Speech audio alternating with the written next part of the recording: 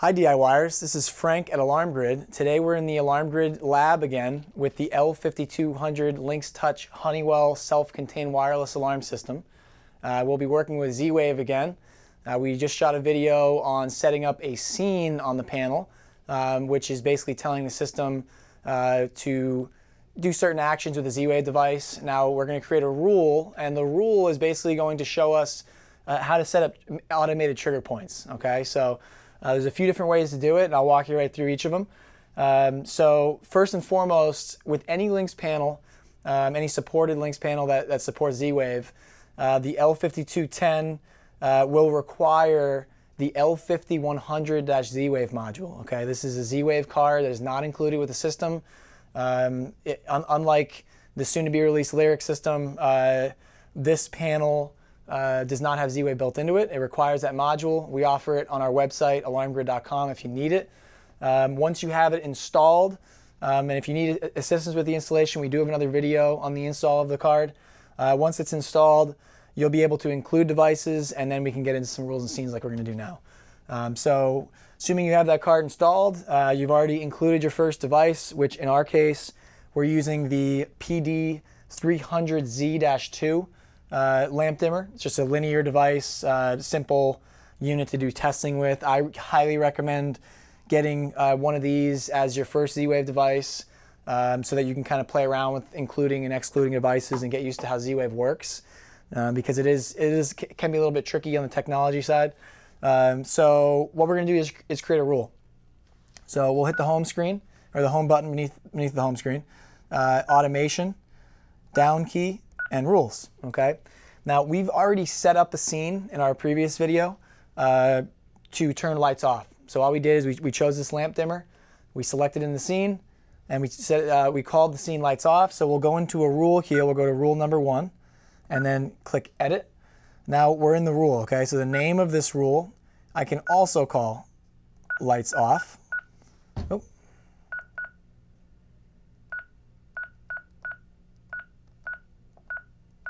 Okay, so we have lights off there. We're going to save that. Uh, then we now have a type. Okay, the type, there's a trigger output. So you can create a rule um, to, exec to uh, send a signal to the trigger output. There's a wired trigger output on the back of the Lynx panel that can be connected to something like the uh, Altronix uh, ultra sensitive relay uh, that we have with our Lynx-WEXT kit.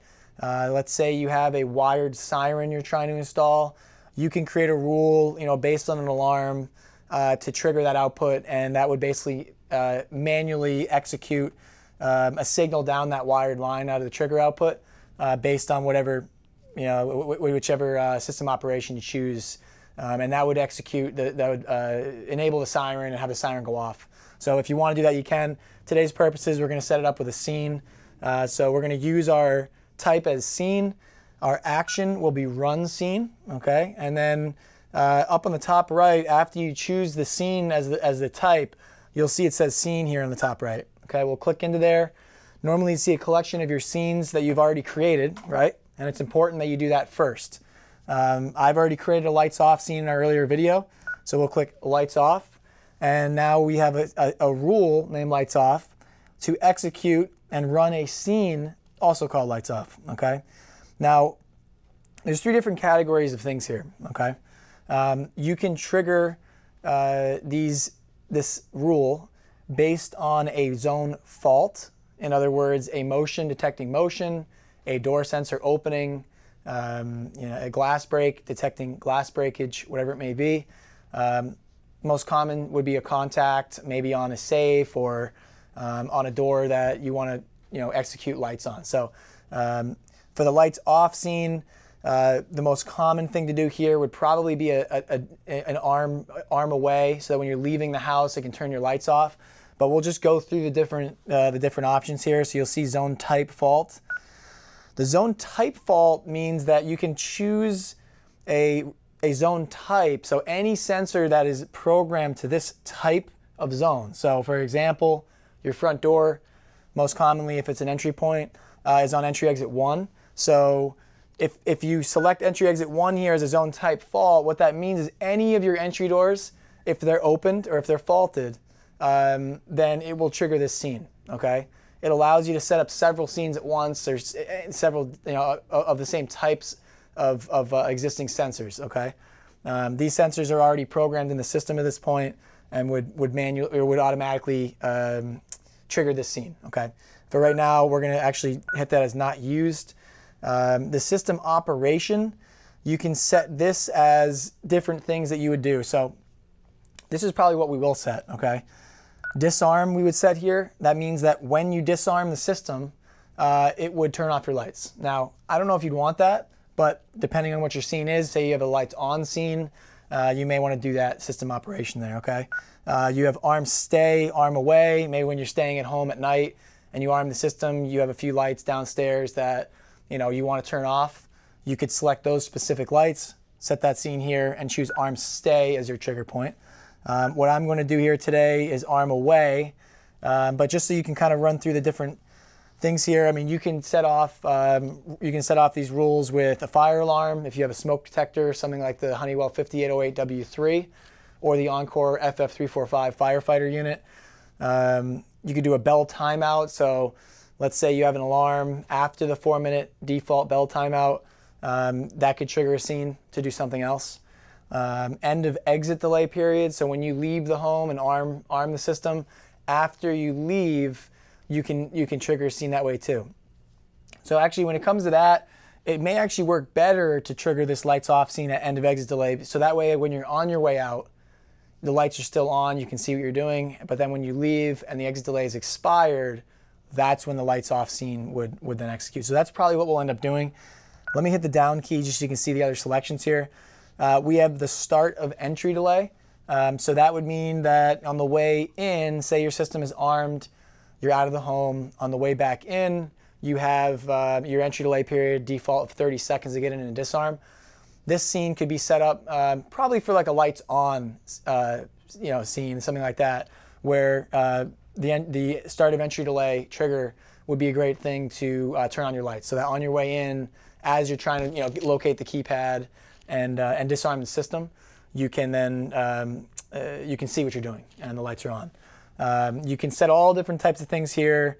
Uh, duress alarm, system low battery, reporter failures, bypass. A kiss off is is when um, you know when the system is dialing out to a central station for an alarm. Um, so for today's purposes, we're actually going to go back up here. We're going to do end of exit delay so that when you're out of the home, the system is fully armed away, that the lights then go off. It's just a convenient thing so you don't have to go around flipping all the switches. Um, so that will be the system operation. System operation two is uh, if you wanted to set up something else um, to also trigger it, you can set up multiple trigger points here. Uh, you can set up you know, zone type faults, system operations, and also our third section here. If you hit the down key, we'll go down to page two and it says zone number operation. Okay, so what we do here, you can toggle that to a fault what this does, it allows you to choose a specific zone or up to three zones really because there's, there's first, second, and third. Um, and use that as a, as a trigger, okay? So when that zone senses, um, when that motion senses motion, when that door uh, is opened, it will trigger this scene, okay? Um, so when you set up, a, you could do a fault, you can also do a trouble. So let's say, um, you know, you pop a tamper cover on one of your sensors and you want, you know, some lights to flash or whatever it may be. Um, that's that's an issue. That's a, good example of when there's a, a trouble if you want something to, to occur, uh, or an alarm. If you just want to straight up an alarm, anytime you have an alarm, um, you know, on on a specific zone, you can set Z-Wave devices to behave a certain way based on whatever scene you choose.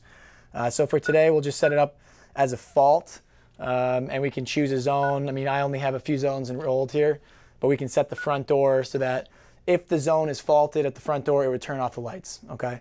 Um, I don't think that we would really want that in real life, but we're just going to set that just so, so, we can see what's going on here. Um, so that's pretty much how you set up a rule.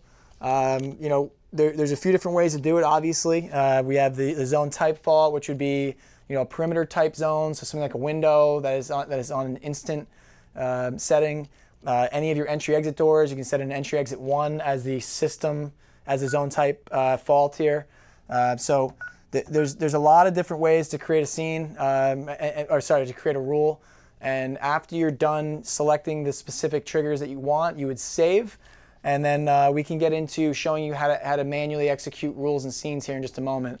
Uh, but for now, if you have any other questions on setting up or configuring your, your first rule uh, or, or many rules, uh, you can reach us at support alarmgrid.com.